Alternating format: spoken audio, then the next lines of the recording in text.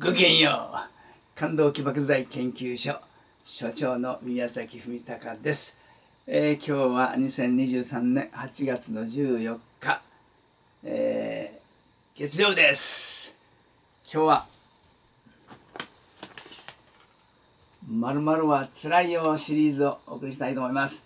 その今回はまるまるシリーズが2つほど変わります、えー続いておりますのは「師匠はつらいよ」これは続いてるんですがあと2つが今日から、えー、シリーズで「まるまるシリーズ」「つらいよ」シリーズがね変わっていきます。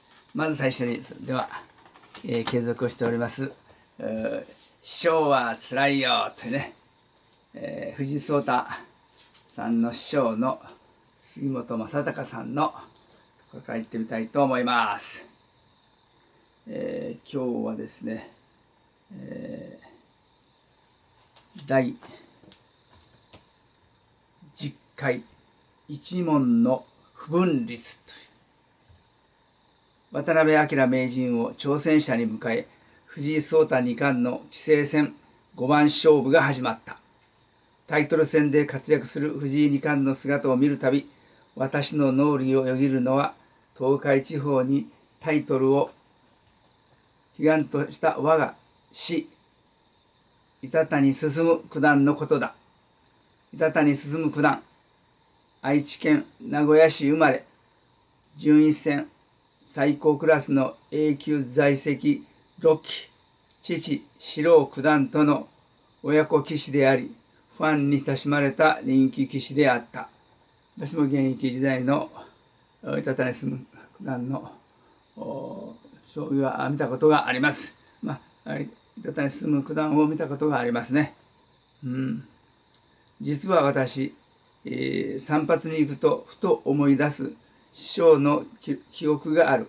それが丸刈りだ。次は坊主、かっこ頭だな。次は坊主だな。師匠が転んで使われていた言葉。主に負けが込んだ弟子に使われる昔風の激励である。弟子たちの勝負、奨励会が終わった翌日の報告ではちょっと緊張が走った。2連敗でした。そうか、坊主だな。すごいですね。1勝2敗でした。坊主にして気合を入れるのはどうだもちろん教養ではないが、師匠の言葉は重い。気の毒な兄弟子、えー、あ、兄弟弟子たちか。気の毒な兄弟弟子たち。でも自分には関係ないぞ。私は胸を張って報告する。2連勝でした。次に勝てば商談です。おお、そうか。にやりと笑う師匠。坊主にしたら次も勝てるかもしれないぞ。ええー、豪快でユニーク、人情味あふれる師匠であった。実は師匠自身も、えー、短い髪を好まれており、気合を入れたい時など、頻繁に丸刈りにしておられた。えー、兵役も体験された厳格な父、四郎九段の影響もあったのだろうか。大事な勝負は丸刈り。我が一門にそんな不分率があったのかもしれない。なお私は丸刈りが決定的に似合わない。なので必要に迫られた時は前髪が少し残るスポーツ狩りでお茶を濁していた。お前たち、腹は減っていないかこう言われ、よく食事に連れて行っていただいた。悩むな、若いんだから、たくさん食って、バンバン、かっこ将棋をさせ、そんな教えだった。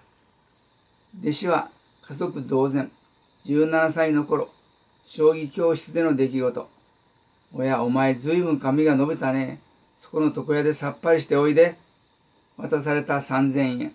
初めて入ったその自発店は古めかしく、怒りも常連向け、正直ドアを開けた直後に引き返したくなったが、さすがにそうもいかない。丸坊主に、と言われてないから普通でいいのかな普通にしてください。はいはい。わかめも普通でいいかね。一時間後、鏡に映る見事な七三分けの自分に愕然とする。おごりの散髪台と出来上がりのかなからしさ若き日の思い出である。記憶の片隅に残る。一門の教え。藤井聡太二冠にも。受け継がせようかな。これがすおや藤井君髪が伸びたな。タイトル戦もあるし丸坊主にしたらどうだ。ちょっと行ってみたいぞ。しかし万が一これが実現したら大変だ。パワハラ師匠弟子に丸刈りを強要。本誌の別記事を逃げわしたり逃げわしたりした。してあ逃げわ本誌の別記事を逃げわしたりしてとはね、えー、それはすごいですね。新聞にデカデカと出ますよこれ。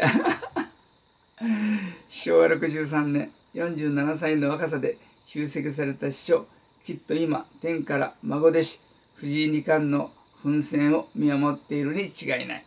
いやーこうしてみたら本当にね生きておられたら喜ばれたでしょうね。